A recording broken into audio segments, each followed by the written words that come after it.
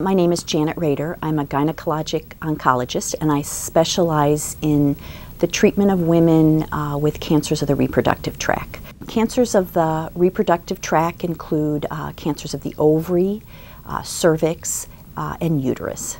Our treatment and care of patients occurs in one site, the Clinical Cancer Center, which has all the physicians, the support staff, quality of life, laboratory services, um, and pharmacies. Everything the patient will need for their care uh, is located in the Clinical Cancer Center. The treatments that we offer are the wide range of treatments necessary to treat women with cancers of the reproductive tract. We have um, complete surgical options, which include radical tumor debulking, removing all the cancer that's in the abdomen, to minimally invasive surgery, which includes use of the robot, and fertility sparing techniques. Uh, we also have the latest chemotherapy options, which include intraperitoneal chemo, uh, placing the drug in the abdominal cavity. Uh, we're working on a program uh, for individualized treatment of recurrent gynecologic cancers. Uh, we have a program uh, for meeting with and discussing families at high risk for cancer for ways to decrease their risk. And we also offer a program for second opinions for women to have their slides reviewed, their x-rays reviewed, uh, and their treatment options, whether they have uh, newly diagnosed cancer or recurrent cancer. You always have time to seek a second opinion, and we can uh, usually get you in within 24 hours.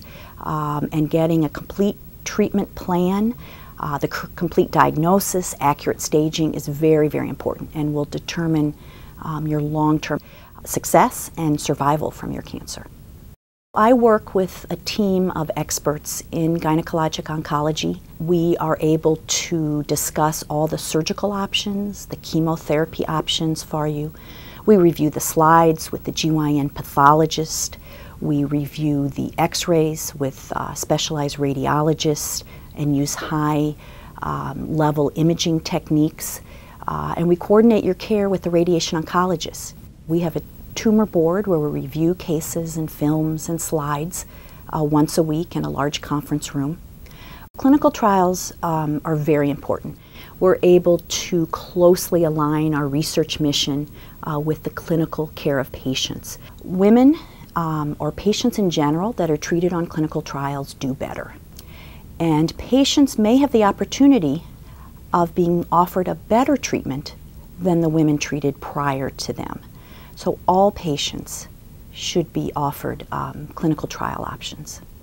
Clinical trials can involve all parts of cancer treatment. It can involve the type of chemotherapy you get, uh, tailoring of the radiation uh, treatment dose, uh, looking at quality of life or side effects from your chemotherapy. Is there a way to improve how we administer the chemo, the timing, the dosing, um, additional drugs that are given during chemotherapy? Um, so all of those things um, can be looked at.